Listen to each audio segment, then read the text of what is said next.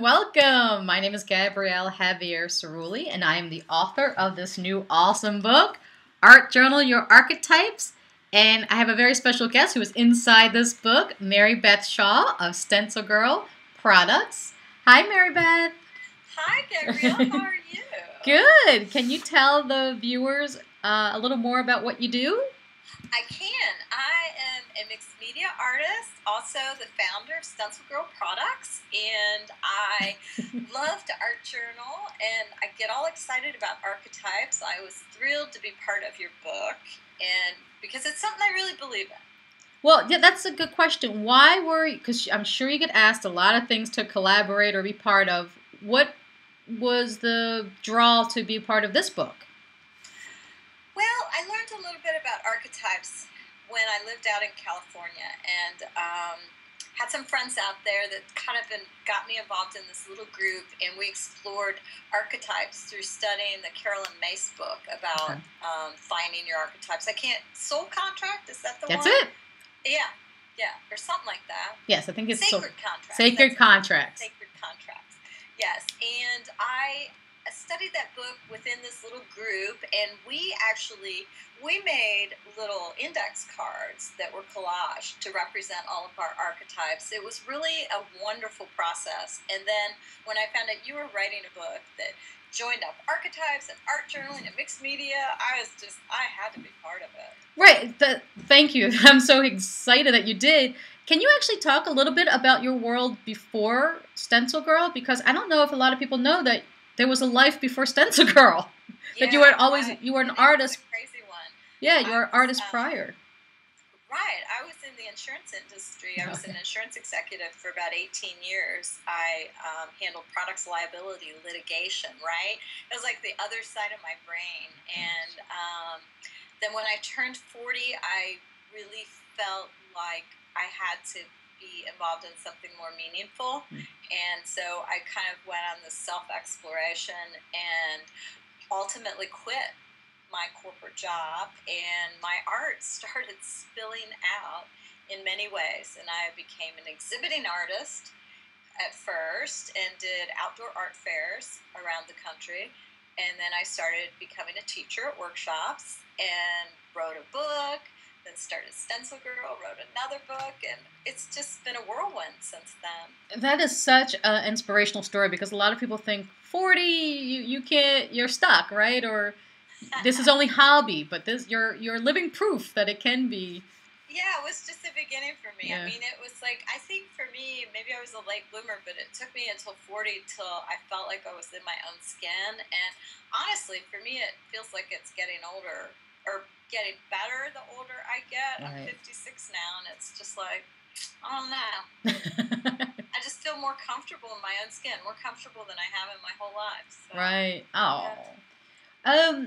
So, can we see? Uh, do you have any art journal of your art journals I do. by? I do. I um. Well, this is the journal I'm using right now in 2016, and I started it in the beginning of the year, 2016. I love it. And it is already almost filled up. There's just a few white pages at the end. Nice. Like, I can't believe I've been journaling so much, but it's often, you know, the only thing that I get um, time to do. So sorry about that. What That's are the okay. odds of me having a second phone call during this phone call, right? Pretty high, probably, as a busy gal. right. Um, so let me try to find something that would be inspiring for you to look at. This is somewhat reminiscent of the piece, one of the pieces I did for your book, where I was using um, this face stencil, and I was really this just started out as kind of process work, layering and painting, and layering and painting, collage and stencils, and then I have those words in there find a way, go home. I don't know if you can see them up here. Yeah. But they're just words out of um, vintage text where I just gesso out all around and I find the words that I like and then I, I keep them in a you know little group of collage elements. Gotcha. And um, it was really nice to pull these out. It was just like they really meant something to me the day that I did this. Very cool. It's like blackout poetry. It is exactly. I love that. Um, you know, seeing that poetry. It's so cool. Yeah, but I've never done it as like to have a little stash. That makes so much sense now. Well, you know, it's a fun way to work because if you are having one of those days where you're just not inclined to do anything uber artistic, I just pull some old, kind of grody looking vintage pages, get my gesso and a little brush, and I just paint over everything except for the words I like, and I just leave them exposed. And they don't have to make any sense. Gotcha. And then I just do a whole sheet, throw it in a little bin, do Fun. another sheet, throw it in a bin, and then pull it out. And um, I find some incredibly insightful things come up. Here's another spread that I've Ooh. done this year. Ooh. Those and are cool. Of course, using stencils and words and all of the things that I love. Yes, and you you definitely have a color scheme going on lately. Oh, I do. I'm getting back to some of my earthy colors. Oh, here's some new colors for you, Gabrielle. Oh. How's that? that's out of my color box for sure. Yes, it is definitely. Um, but you know, it's um, and this saying is a little um, thing from a poem that I read, and for a moment I almost vanished. Ooh. Isn't that profound? It is profound. I mean, it's just, it's a little, I think it's from a Mary Oliver poem. It was just a little little segment of the poem that's just like I write down these things that I like, you know. Right, and that's that's what I, you have to do. I mean, especially with people who do art journaling, we have all these little collections. So I just want you guys to see, and actually, this might be Mary Beth's first time to see this. There, there she is in the book. Oh, there. There she is, and this is her page. Oh, I really like that spread. Yep. And then I won't show you her other spread because I'll keep it a surprise. And then here's her archetypes. Some of the surprises were when we did our session together were storyteller, liberator, and detective. Of course, she's artist as well, but did you find any surprises or validations when we did our session together? I did. I did. I so distinctly remember that day because it was a really moving session for me. It meant a lot to me to do the session with you, and I felt, I don't know, I felt really, um,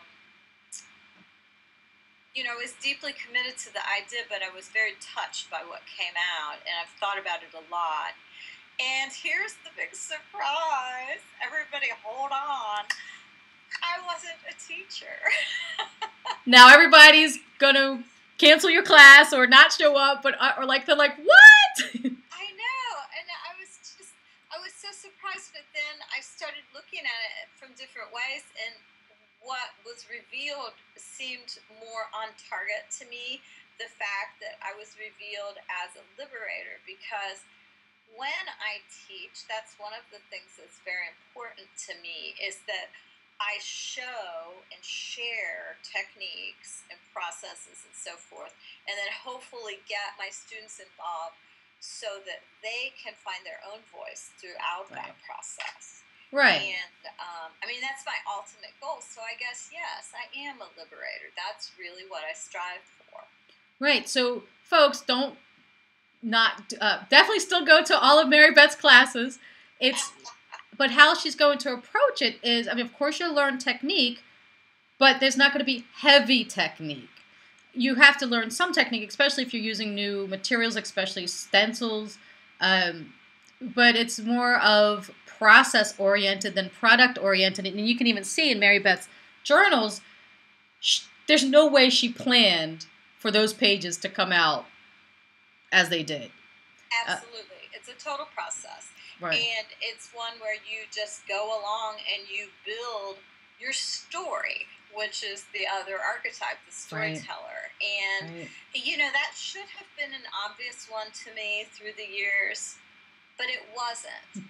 and, and it just came out, and it was like, yeah, yeah, I get that. See, that yeah. is so incredibly uh, special to hear that to me uh, because you know, folks in our world, we, you know, we go into um, self-realization or, or self-development or, you know, personal development kind of things all the time. But to hear something new come up, like something fresh uh, is very exciting. It just it speaks to the work and it speaks to it needs to be out there more into the public so they get it. You know, Yeah. now you have a new lexicon of how to describe yourself and Yes. what your strengths are, your true strengths, versus what you're trying to do. And you can tell if you're getting um, uh, burnt out that it, it- you might not be on the right path. I think so. Now you can. yeah, I think that's true. And I think recognizing the entrepreneur side of myself was important too, because obviously, I mean, I obviously am an entrepreneur. I've started my own business, and um, yes, but I think that as coming from corporate, going to artists, going to entrepreneur, but retaining artists, this was something I somehow thought like, oh my God, if I'm an entrepreneur, I can't be an artist or whatever. Mhm. But you know, I can be all of those things. Right. Right. That's very true. Um, why do you think art journaling and the archetype work marry so well together? Yes. Well, the art journal is a place to keep your sacred thoughts and the place where you can do the process. And things come out of that that are sometimes unexpected and Mm. sometimes quite meaningful. So to do the archetype work within the context of a journal makes perfect sense to me. This Yeah. is the part that maybe you would just want to keep for yourself. Right. you know maybe you'll share it maybe you won't. But it's in this little book that is yours and you can work in these pages and you can also go back and revisit your pages which if you are working on wall hanging pieces you don't go back or add to it you know? You like you complete the piece and then you just move forward. So Right. Yeah oh here's another page that's a pretty one isn't it see how i'm using some purple these days it's kind of a surprising thing That is almost, you know? surprising. Wow. Yes, So- it that is very interesting uh, because a lot of folks who are going to pick up this book are coming from the personal development world, and some of them are coming Uh-huh. from the art journaling world, and Mhm. so it's very exciting to me that the art journalers will now have new fodder for their art journal pages because sometimes it kind of gets stale or you're not sure what to do next because you've done enough of the same kind of technique. And for the personal development folks, um, to try art journaling is very exciting to me. Um, yes To give them um, a, new way of expression. It's um, it's very exciting because it's it's an inexpensive way. Um, you can test a lot of things, uh, and nobody has to see it. And again, you're not using Canvas, but right right. Well and that's part of it too is it's the art journal you know first of all you need to give yourself permission to create. That word permission just popped into my head while you were Mm. speaking. And then the art journal it's so accessible it's inexpensive it's like you buy a big canvas and it can be so um, scary Mhm. you know, you're just talking about a little page in a book here, you know?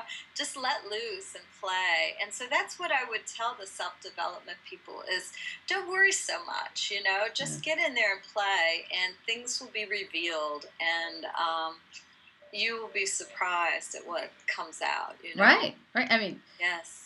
So, what um, do you have coming up in the fall? What um, any new stencils coming out? Any new classes? new stencils? Well, you probably gathered by looking at some of my work that you know how I'm all about the grids, right? Yeah. So I've um, I have a line of stencils I previously designed where you can make these different size squares and you can make plaids and all kinds of combinations.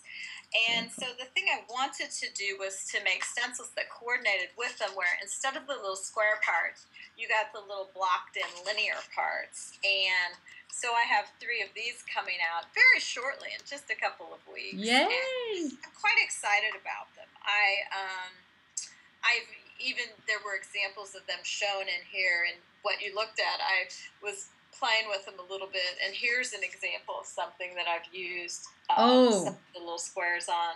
Oh, I'm so happy you have an example because um, I'm very excited to see those little tiny squares.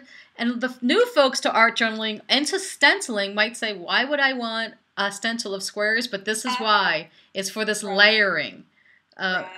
I mean, you can you can hand draw or hand paint those, but the stencil just makes the layering so much faster and easier. It really does, and I think it gets your brain out of the way because when you're Right. just using paint and a sponge and moving fast and furious, your brain moves out of the way, and that really facilitates the art making process. Again, so um, that's all that process versus uh, you know product oriented Absolutely, pages. and I, I tell my students that all the time. It's like the problem is right between the ears here. you know, because really, as artists, I do think it's something that we need to um, do is to get the brain out of the way, and we're not inclined to do that. Right. Well, especially if there's a fear factor or any kind of art trauma. A lot of times people come to me in my workshops, they just have like middle school art traumas. And like they were told that they're not the artist, and then it's like, like, like I'm going to tell them they're doing something wrong, and so they Right. get this um, anxiety, and so Right. art journal is the perfect and I place. have the whole middle school story myself. I had the eighth grade middle school story.